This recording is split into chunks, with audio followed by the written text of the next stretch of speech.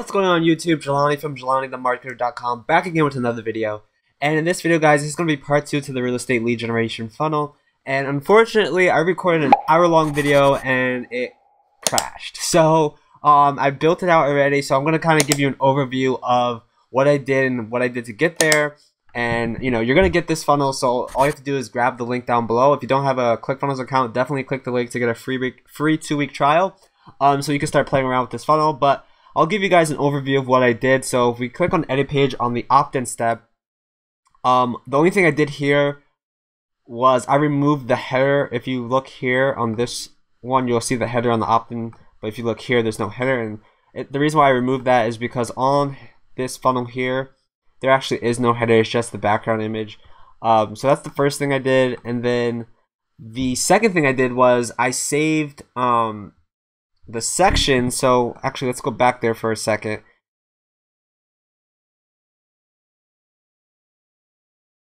I saved the sections here, so all I did was click this little uh, floppy disk icon, and I just saved each, each section. So I gave it a name, click Save as a personal template, and then um, to add that section, all you have to do is go to this plus sign here, go to My Sections, and you can see that I saved all these here. So if I wanted to add the property snapshot one, I can just quickly add it there and it'll appear so you can see there's two. Um, and then I just delete it if I don't need it. Um, and that just uh, quicks, quickens up the funnel design process so you don't have to keep recreating things that you're already created. So on the next step, what I did was I did that same process. I just opened up the sections. Um, so I'm going to click edit page so you can see what I did. I just saved the sections, brought them into this new um, blank template, and then I added an image. I got this image from Pixabay, so you can see this image here.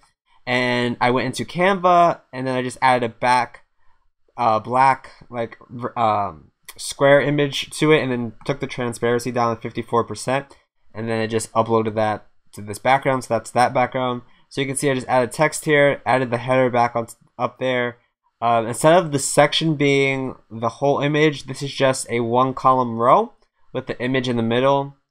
And then this is the property snapshot, just a little modified where there's a button here now, and then that button opens up this pop up. And this is the same pop up. And all I did here was add a custom type field.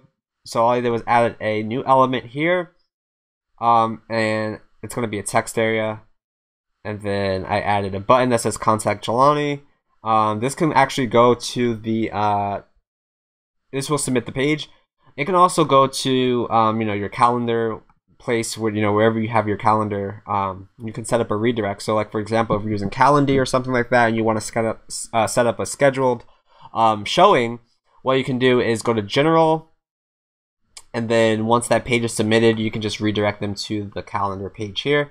Um, one note about this is you don't want to go and click on right click paste. What you want to do is go command V or control V on your keyboard, depending on if you're a Mac or a PC, and that will place the link here, and that's how you want to enter it. If you do um, right click, it won't save. So you want to click save as a page template. Um, and then all I did here was add a new section, add property details, and then added three pop-up images here. So once you add an image, it's going to pop up. Um, and then the thumbnail is that, and the full size is, you know, you would set the parameters accordingly to what the image is. Um, and then you can see that this is kind of the same thing here. So you would just add the image there. And uh, I just duplicated that and then changed the text. And then here is just a simple two column row again, just changing the background. Um, and then adding a image here of just you know uh, the map of where the location is. You can easily do that by going to images.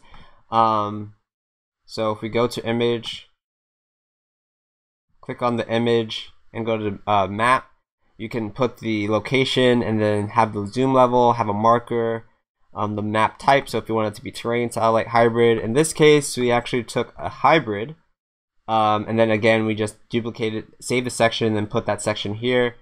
And then this section is this here, duplicated, and then just changed around, just added a button there. And then this is another one column section.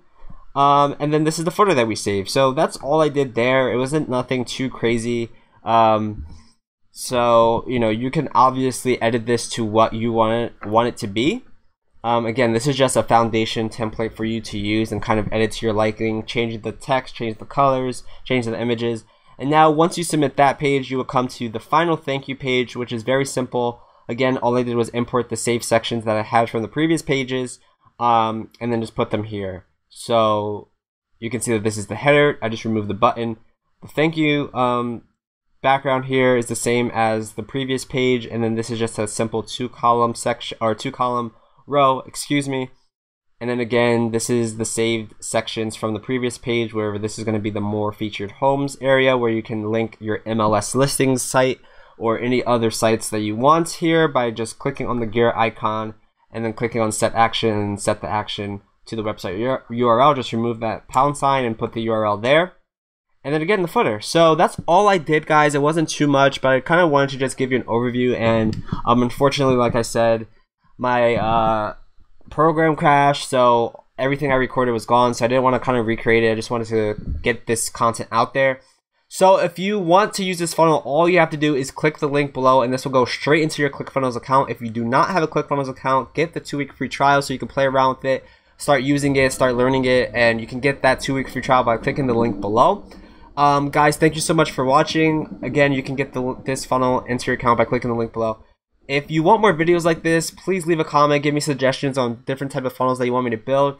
If you like this video, give me a thumbs up. If you haven't subscribed yet, please subscribe because I have a lot of awesome content coming, tutorials, interviews with some really cool people, different funnel builds. So I'm putting out a lot of content, so I would really want you to see what I'm uh, bringing forth and what you can learn from me. So definitely subscribe um, and hit that alert button. Thank you so much for watching, guys. I'll see you guys in the next video. Bye.